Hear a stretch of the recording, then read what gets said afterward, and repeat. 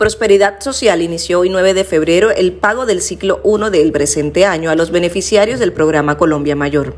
La jornada va hasta el 22 de febrero y los adultos beneficiarios tendrán disponible el pago en los puntos autorizados de récord en todo el municipio. Con el propósito de brindar atención a las personas mayores en temas relacionados con inscripciones o novedades de este programa, se habilitaron en los centros de vida Espíritu de Dios ubicado en la calle 11, número 1222, y María Madre de Gracia en la margen izquierda de la ciudad, detrás del megacolegio del barrio Los Colores. Las jornadas estarán disponibles de manera continua de 8 de la mañana a 4 de la tarde.